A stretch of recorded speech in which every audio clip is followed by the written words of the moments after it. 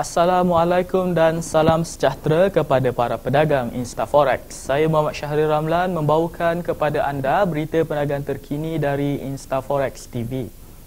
Jawatan Kuasa Dasar Monetary Bank of England mengekalkan pendirian dasar monetary menurun yang meninggalkan program pembelian aset dan kadar faedah tidak berubah. Pound British jatuh sederhana berbanding dolar AS walaupun penganalisis menjangkakan ia akan menaik pasangan mata wang tersebut diniagakan pada 1 dolar 69.55 sen AS pada sesi awal Amerika.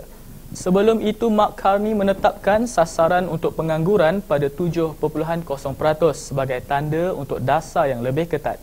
Walau bagaimanapun, apabila penunjuk utama melanggar paras ini, pihak pengawal selia mengalihkan fokus mereka kepada peningkatan inflasi. Walau apapun, harga pengguna susut dengan ketara di United Kingdom, malah jatuh 2% di bawah paras yang disasarkan.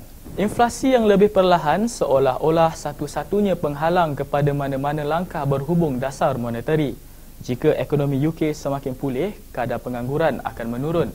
Walau bagaimanapun, Mark Carney kini mahu melihat perkembangan kenaikan gaji. Sementara itu, ahli jawatan kuasa kini bercanggah dalam pandangan mereka.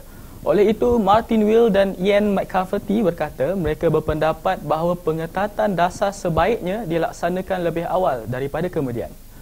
Sekian berita perniagaan terkini dari saluran InstaForex TV. Teruskan setia bersama kami. Terima kasih dan jumpa lagi.